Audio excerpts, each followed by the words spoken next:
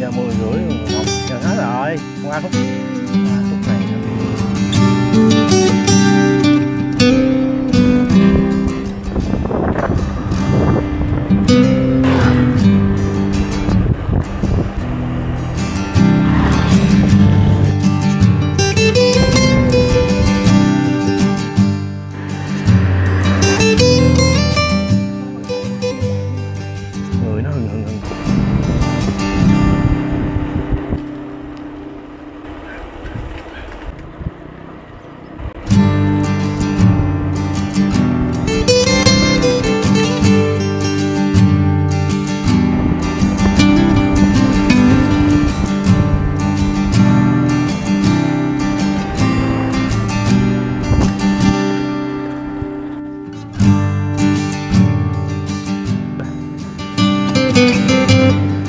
cây xanh thì chắc nó mới mát.